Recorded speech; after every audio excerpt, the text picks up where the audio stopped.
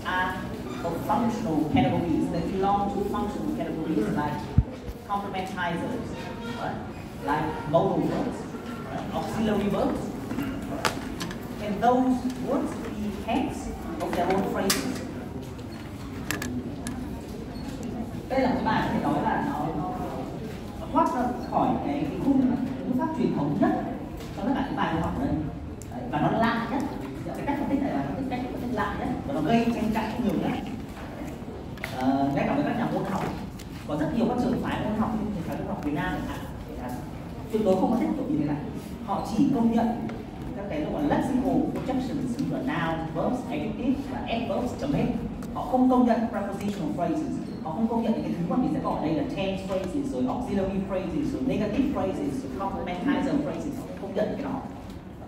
Tuy nhiên ở trong cái trường phái pháp này, ta đã học cái đấy những pháp tạo sinh, generative grammar.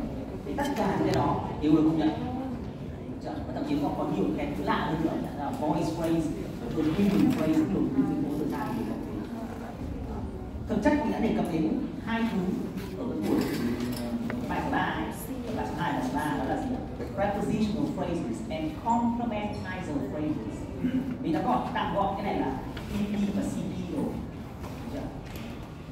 và hôm trước cái bài số 2 thì là xét the preposition and complementizers belong to functional categories. Chúng là các hương từ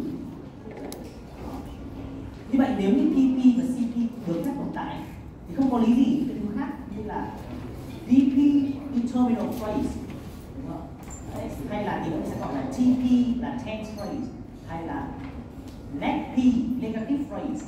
Đấy, hay là AUXP auxiliary phrase. Không có lý gì cái này không được tồn tại. Cái đấy đấy là cái mục đích của bài hôm nay.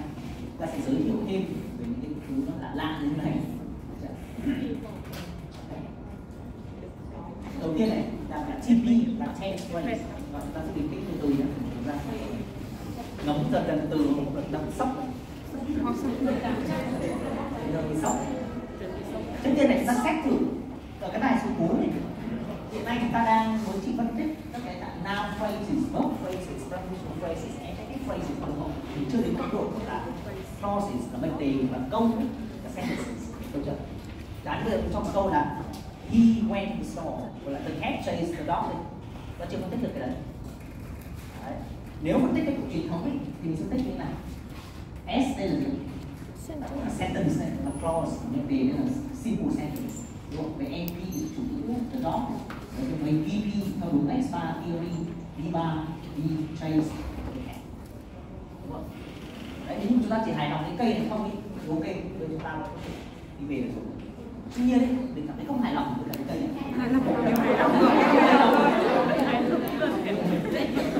Chưa hài lòng cái cây này. Nó có năm vấn đề rất nổi cộm này khi mình nhìn vào cây. Thứ nhất ấy, S is not a projection of any category tự dưng nó lại lòi ra một cái thứ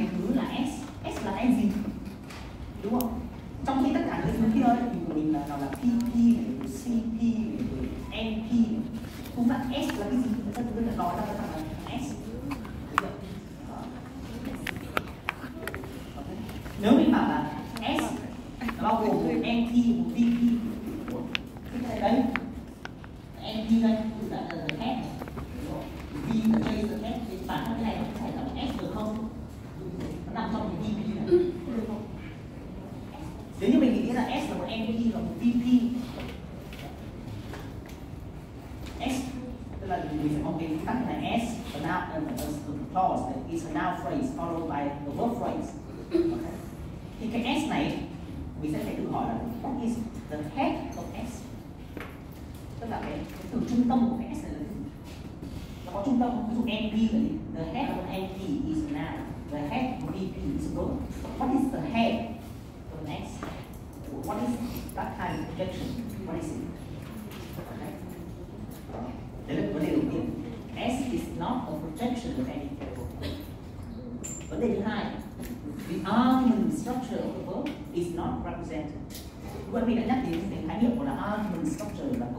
thể, của chúng ta tố ví dụ với từ place cái valency tức là cái cái hữu trị của từ này nó đòi hỏi cái noun phrase ở trước và một noun phrase ở sau.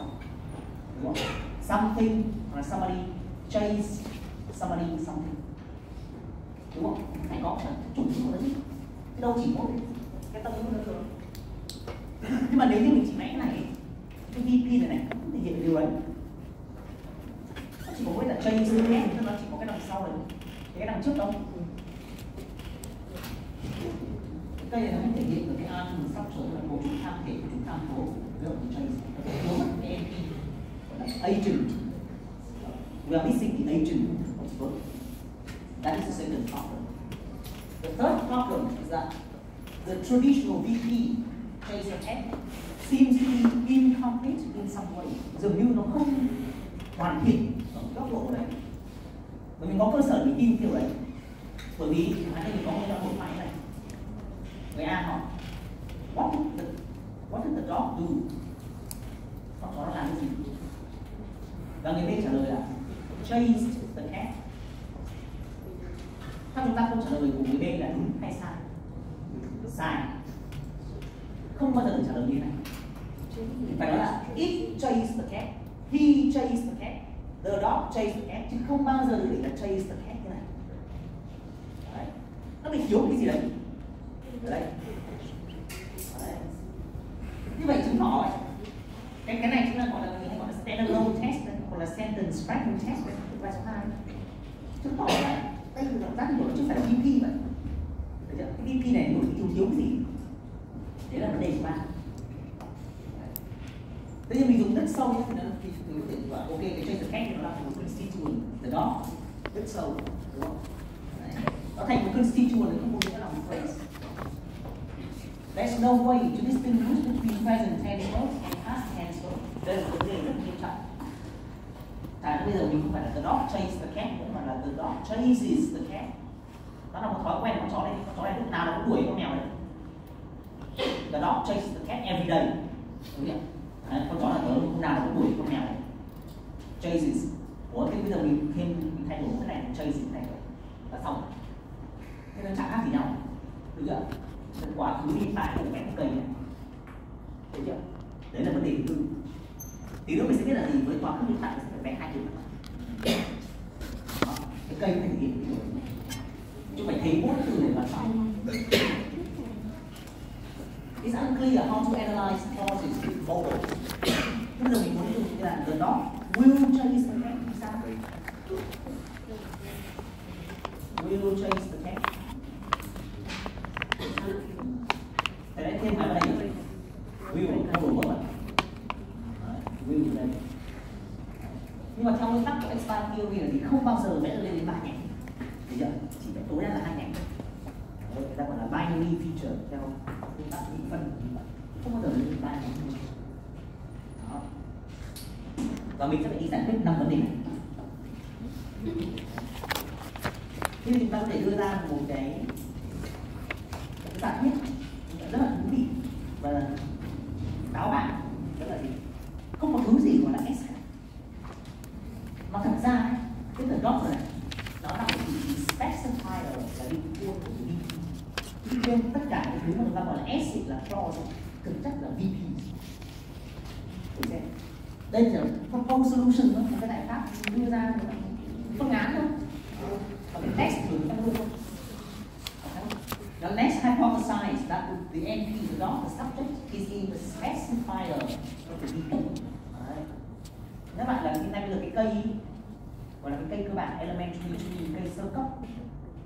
của phrase ở phía này đây là vị trí specify ở vị trí đích khuôn đây là vị trí complement.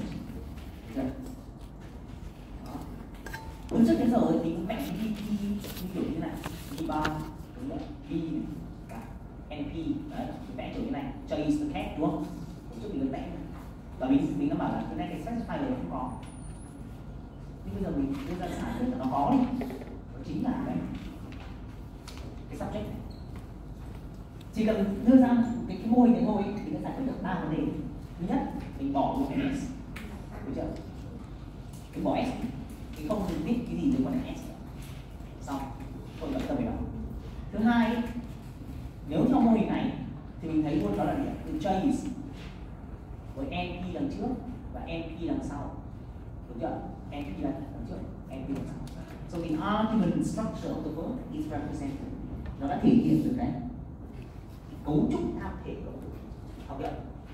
Đấy nó có từ đó từ khác em đi lần trước lần sau. Đi nó giải quyết xong thứ ba traditional VP seems to be incomplete what does the dog do uh, the dog chase the cat được đó khi mà nó có thêm cái từ dog và nó có chủ ngữ rồi. Như vậy là đã complete nó chỉ một cái là hai cái đằng sau ấy mình chưa giải quyết được. Đó là chasing thì vẫn thể thay một từ thế này. Hoặc mà will ấy thì vẫn biết là nhét nó vào đâu will chase thì nhét nó vào đây. Đúng chưa? Đấy. nhưng ít nhất là mình giải quyết được ba cái ok? Đó. nghe chưa?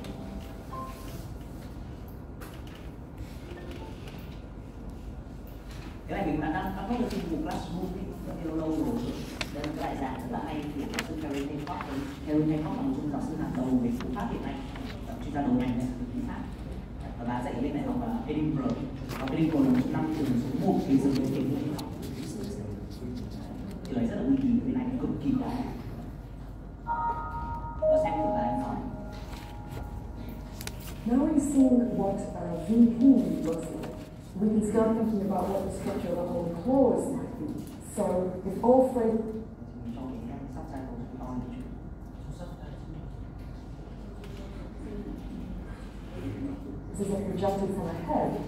projects the whole clause? What what projects the whole clause tức cái gì mà nó phóng chiếu ra cả cái clause cái s projects a sentence?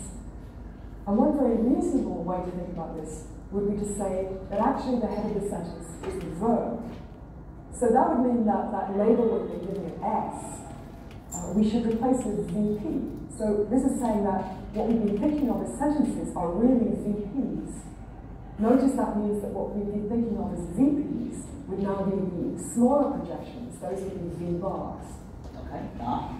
Uh, Ian so Fiona vân vân thì bây giờ mình thay cái s kia của VP đi Bây giờ là mình để cái so Fiona mình không gọi là VP thành là V3 thôi Bây giờ và mình cho cái NP cái Ian này chính là cái, subject ấy, là specify VP Bây giờ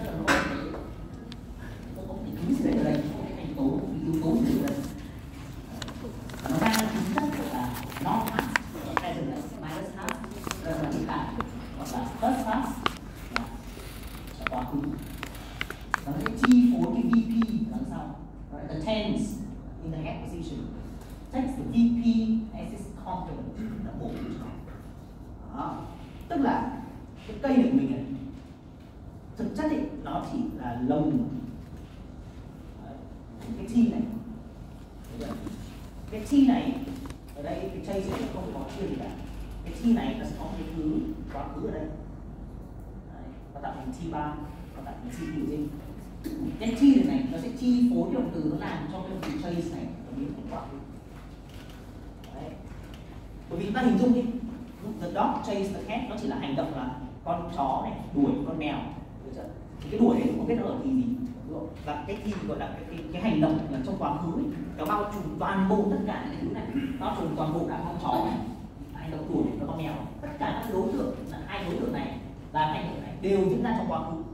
Như vậy mình vẽ vẽ như này thì mình sẽ hiểu là à cái đối tượng cái cái, cái, cái kỳ quá khứ này nó bao trùm nó gọi là text scope nó bao trùm bao phủ toàn bộ cái nhận định này, cái proposition và trùm toàn bộ các hành động. Tất cả các đối tượng liên quan. Ok.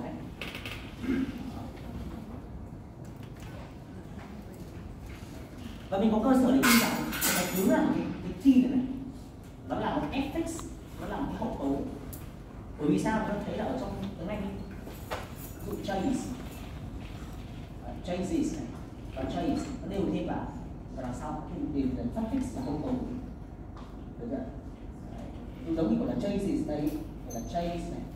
Rồi cộng với cả một cái fx cái fx này sẽ là third person singular present tense.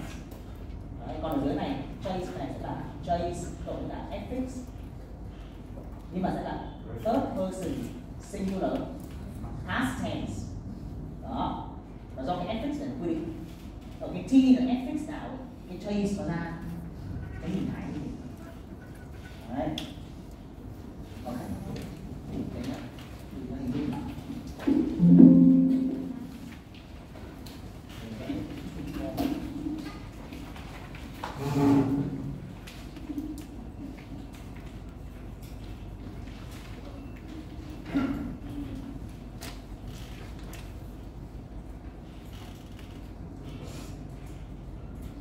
VP, V bar, specifier NP. Bây giờ mình không phân tích ra cụ thể nhé, cho nó đỡ rõ.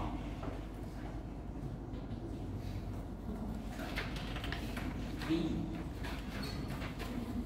chase the cat NP.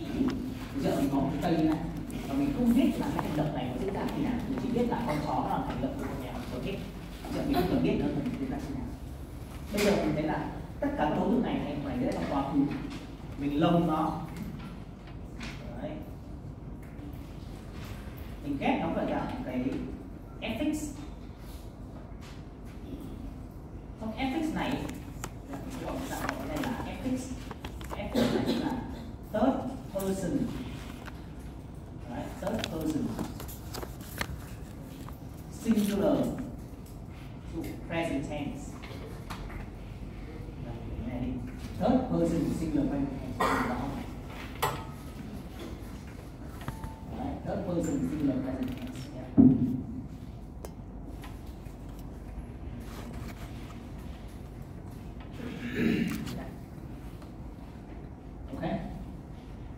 Ok. Và cái T3 này nó sẽ lên nó up đây thành là TP đúng không?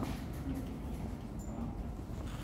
Thế nhưng mà vì nó là fx vì nó là một cái cái hậu tố chứ nó phải gắn cái gì đấy nó không đứng của mình được fx mà fx nó phải an fx must be attached to something nó phải gắn một base một cái nền ở đấy. đấy thì người ta đưa ra giải thuyết là gì? người ta gọi là hiện tượng này gọi là fx hopping hoặc fx lowering cái hậu tố này, này nó sẽ bị đưa xuống dưới cái động từ này nó nhảy như thế này nó gắn vào đuôi của cái này. Chain fx third person. Singular. Present tense. Đấy. và mình gạch cái này đi. Đó. Đi xuống đây. Như thế này. Đây trong đầu. Cái còn đi ra miệng thì não nó sẽ quy định nó bảo vì là cái hiệu là thì chase cộng với cái này. Thì đọc là chases. Vậy thế còn cái quá khứ thì như nào? Nó sẽ có thêm một cái cái là fx nữa. Nhưng mà fx này sẽ là past tense. Đúng không past tense past Đấy. và đây sẽ là past tense Đấy. đó past và khi mà mình đọc ấy, thì sẽ là chase cộng với cái này thì đọc là chased đó. thì hiện tượng này gọi là fx hopping hoặc fx low hiện tượng nhảy hậu tố gọi là hạ hậu tố đang từ vị trí này nó mình viết theo một dòng là chase cộng như này fx third person singular present tense is spelled out or is pronounced as chases chase cũng như này is spelled out as chase như vậy mình giải quyết xong vấn đề thứ tư là vấn đề về tense. Nhưng mình vẫn còn vấn đề thứ năm, vẫn là bây giờ tự nhiên là will thì sao?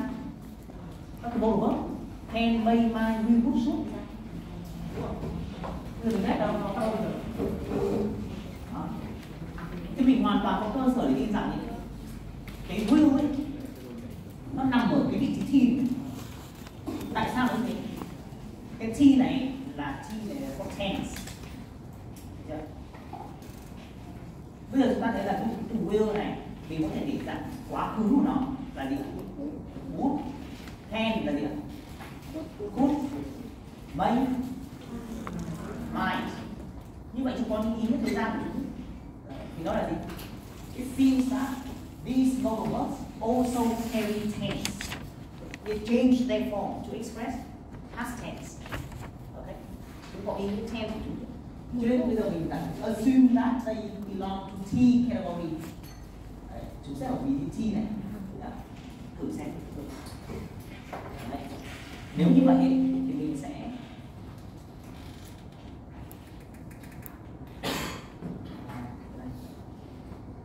lúc này cái này nó không phải là cái fx nữa mà sẽ là will đó như lúc này mình sẽ bị một vấn đề là gì ạ wrong order đúng không? the dog will chase the cat nhưng mà nếu mà để cái này thì là will the dog chase the cat được chưa đấy thì mình giải quyết vấn đề này nó nảy sinh một vấn đề khác. Thế nên cách xử lý sẽ là mình giả định cho rằng là cái từ dot này, này nó bị đưa lên cái vị trí TP này gọi là specifier of the TP bị đưa lên đây. Đấy. Rồi, dog đi từ đây đến đây.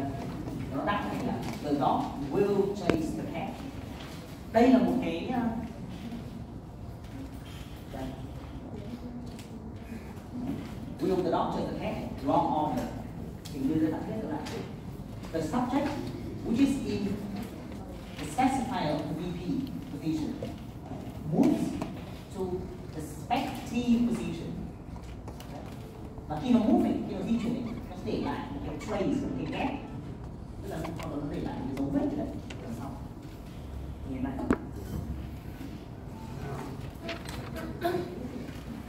Ok. nó hơi rắc rối một chút này nhưng nó sẽ giải quyết được tất cả những thứ mà mình đề đề xuất ra ở trước Đấy. với model bây giờ mình đã thực hiện được mình cho nó vào cái vị trí t tất cả cái can may may will would should cho hết vào t thì không phải vẽ thành ba nhánh nữa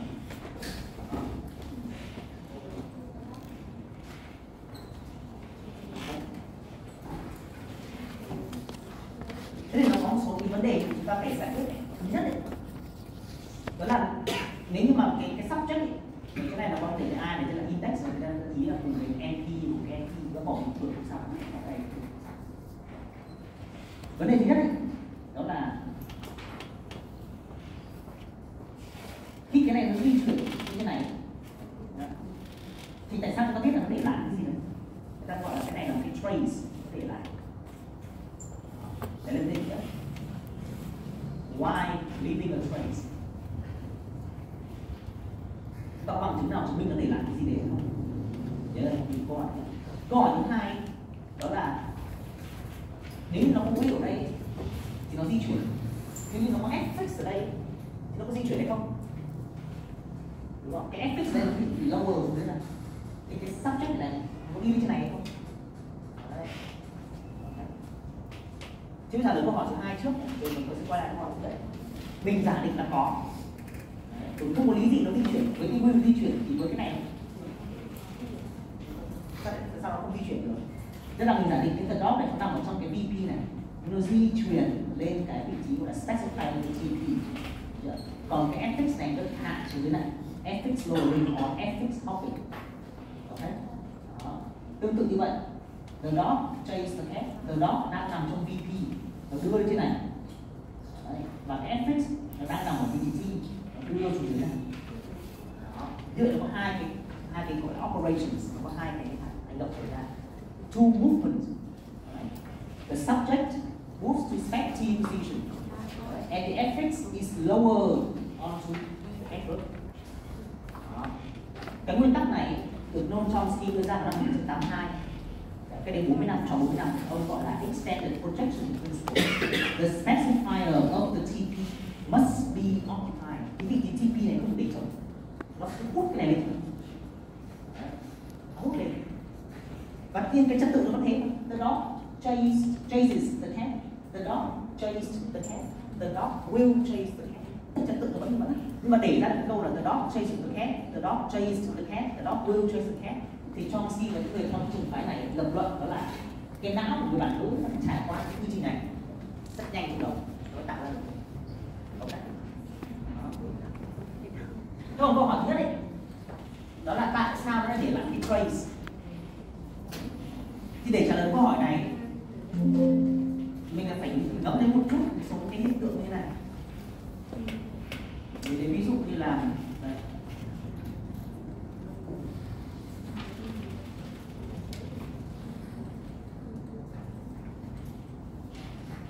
Chúng ta biết là one two ấy nó hay viết tắt là gì? One à? Ok. Ví dụ I want to go. Đúng không? Hay nói là I want to go. Ok. Bây giờ trả cho mình có câu là I want him to go. Ok. Chúng ta có thể nói là I want him to go. Không được. Đúng không? Bởi vì him nó xen vào giữa one và two. Như vậy mình đưa ra một cái giả thuyết đó là để one và two ghép lại thành one lại thì nothing stands between one and two. Okay? One and two must stay close to each other with nothing between them. Không có gì xen vào giữa. Bây giờ mình muốn đặt câu hỏi cho Kim Bạn muốn ai rời đi? Hỏi đã who do you want to go? Lúc này one và two đứng cạnh nhau rồi nhưng một thật đấy đó là không một người bản ngữ nào chấp nhận nói.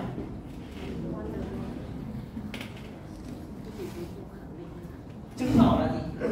Có một cái gì đấy năm đang đứng ở đây nó chặn one và two ghép lại với nhau ok? Đấy cái lập luận của người ta là như vậy.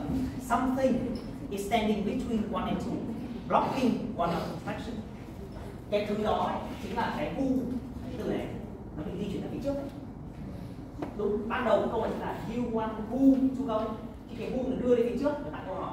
Nó để lại cái gì đấy ở đây. Cái gì đấy ở đây mặc dù mình không nghe thấy nhưng nó ngăn không cho quan mặc dù mình cạnh nhau. Và nó khiến cho cái câu này bị sai cái khác. Đấy, là một bằng chứng để chứng minh là khi một cái từ đấy đi ra khỏi cái vị trí của nó nó để lại cái dấu vết tại đó. Đấy. hay tương tự như vậy. Cái này chúng ta còn nhớ không? Cái bài ờ, cái đây ờ, ờ, mấy tuần thì có nhắc đến cái câu như này. Mike uh, said that John had eaten an apple. Cái câu này chúng ta có bỏ đáp được không? Mike said John had eaten an apple. Được chứ, quá được. Đó. Bây giờ mình muốn đặt câu hỏi cho an apple thì đặt thế nào? Mike bảo John ăn cái gì? What, what did Mike say that John had eaten? Được chưa? Coi như là eaten something, what is eaten what? Và cái what này nó đưa lên trước. Đấy. Ủa that được không? Quá được. Bây giờ mình muốn hỏi cho chủ ngữ hỏi mai ai nói rằng John đã ăn quả táo? Who said that John eaten an apple? Chúng ta có bỏ tát được không? Được. Who said John had eaten an apple? Đấy. Giả sử như ở đây đấy là một cái kép ở đây và cái who ban đầu đứng ở đây và mình đưa lên phía trước này. Ok, xong. Nhưng bây giờ mình muốn hỏi cho John Mai bảo ai đã quả táo? Who did Mai say that had eaten an apple? Câu này sai phương pháp. Và được đúng phương pháp thế này là bỏ cái lát đi câu này là đúng này tức là nó chỉ có một câu số ba là sai và bây giờ giải thích tại sao Đấy. thế thì người ta đưa ra một cái đề xuất thì đó là gì cái từ rác này vốn là một complementizer tác từ hữu hóa cùng một loại như là weather vân vân lại là weather không được đứng đằng trước của cái trace của cái ghép okay. những trường hợp như này chúng ta thấy cái rác đứng đằng trước. Đứng đứng ngay đằng trước phải không? Không. Cũng thế cũng không này. Cũng không. Mở ra cái từ rác này đứng ngay đằng trước của cái trace này như cái câu này sai thậm chí là cái tên cho cái loại cho cái cái, cái rule như vậy. Người ta gọi đấy là con filter inter trong cách ngữ pháp thì gọi là contrast filter cái bộ lọc cái bộ lọc này nó sẽ nó sẽ lọc cái câu này con là complementizer và trace là gì? Cái này. Nó lọc của câu này nó cho là tôi là bị sai vì họ là vì trước thì trace tất cả cái ví dụ này để chứng minh điều là gì? When something moves out of its original position, it leaves a trace, or it leaves a gap, it leaves something behind. Okay? but that something is not pronounced. Mình không nghe được mình không nghe được. Không đọc ra nó có ở đây thấy chưa nó đủ không cái này nó hơi chịu tượng nhá bởi vì thế là đấy là một trong những cái cái, cái hay của cái uh, cái kiểu ngữ pháp này. Tức là người ta không chỉ nghiên cứu cái quyền của bên ngoài cái ngữ pháp truyền thống ấy, như là cái ngữ pháp trước đây thì họ chỉ nghiên cứu cái bên ngoài thôi. Đấy, người ta gọi là structural linguistics là môn học cấu trúc nghiên cứu cái bên ngoài. Bây giờ Việt Nam cũng nghiên cứu như vậy. Nhưng mà cái kiểu như này đến một cái năm mươi và trong đề xuất đấy, trở lại người ta gọi là cognitive revolution là một cách mạng chi nhận. Tức là người ta không chỉ nghiên cứu cái bên ngoài nữa, người ta phải đi sâu ở bên trong não, trong trong đầu. Người ta đặt câu hỏi là cái thực sự trong đầu người bạn nghĩ nó hình thành cái gì? Nó có quy tắc gì nó tạo ra một câu rất đơn giản là the dog chase the cat thì từ những lập luận vừa rồi chúng cho rằng là the dog chase the cat thì chúng ta không có đấy phải đi. Từ này. Từ cái ta vẽ thử một số câu để chúng ta thấy mọi thứ nó dần dần nó sáng tỏ hơn. I touch you.